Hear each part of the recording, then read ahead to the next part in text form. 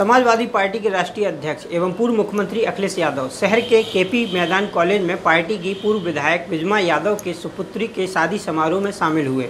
इस मौके पर मीडिया से मुखातिब होते हुए कहा कि इस देश और प्रदेश के नौजवान बेरोजगारी की मार झेल रहे हैं तो वहीं रोज़गार के लिए दर दर ठोकरें खा रहे हैं और दूसरी तरफ़ अपनी ज़मीन की कीमत मांगने पर प्रदेश के किसान पुलिस की मार खा रहे हैं।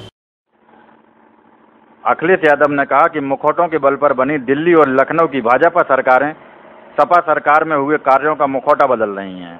उन्होंने छात्रों के अधिकारों की पुरजोर वकालत करते हुए कहा कि जिस सरकार में उठते बैठते छात्रों पर लाठी बरसाई जाए, उस देश का मिजाज और उस देश का निज़ाम कैसे बदल सकता है? इसके पूर्व बमरौली हवाई अड्डे पर उनके पहुँचने पर सपा के नेताओं एवं कार्यकर्ताओं ने पुष्प भेंट कर उनका जोरदार स्वागत किया।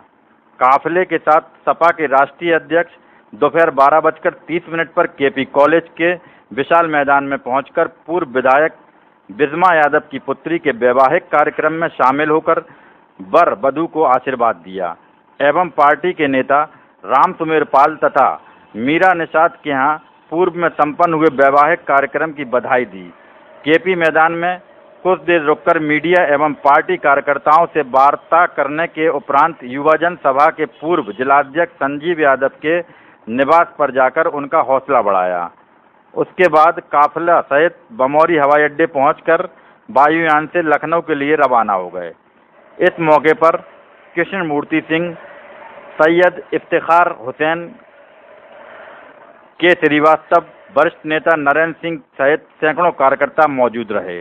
लीडर्स हों, शिक्षा के क्षेत्र में दिए हैं मेडिकल के क्षेत्र में दिए हैं, उसका राजनीतिकरण और अपने स्वार्थ में क्या, कैसे लाभ पहुँच सकता है, उस रास्ते पर बीजेपी संस्थाओं को भी खराब कर रही है।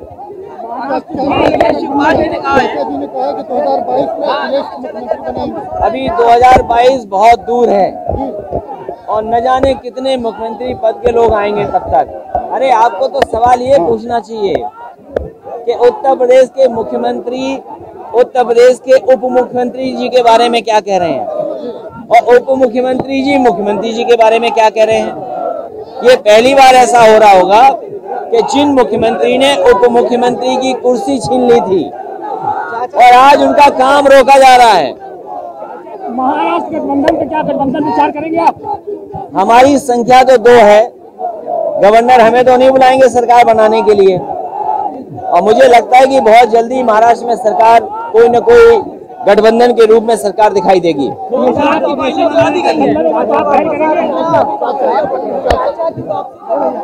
आपको सवाल पूछने चाहिए दूसरे कि भाई गड्ढा मुक्त क्यों नहीं हुआ? आप बताइए, गड्ढा मुक्त सड़कें हो गई क्या? क्या नौजवानों को नौकरी और रोज़गार के अवसर बढ़ गए? आज जो संकट है, आर्थिक संकट है बताओ बैंकें डूब रही हैं। इलाहाबाद नाम से जो बैंक थी इलाहाबाद नाम से जो बैंक थी वो बैंक ही खत्म कर दी। क्या इलाहाबाद बैंक से की नाम रहेगा? ऐसी आर्थिक मंदी आई है नौकरी रोज़गार व्यापार तो है नहीं। जो इकलौती आपकी प्रतिष्ठा थी एक सम्मान मिलता था कि इलाहाबाद नाम से एक बैंक है। बताओ बीजेपी के लोगों ने उसे भी डुबा दिया। अमित शाह कह रहे हैं पूरे देश में एनआरसी लागू करेंगे। अच्छा जो जो एनआरसी उसमें चर्चा कर रहे हैं। न्यूज़ बीके के लिए इलाहाबाद प्रयागराज से सुनील यादव की रिपोर्ट।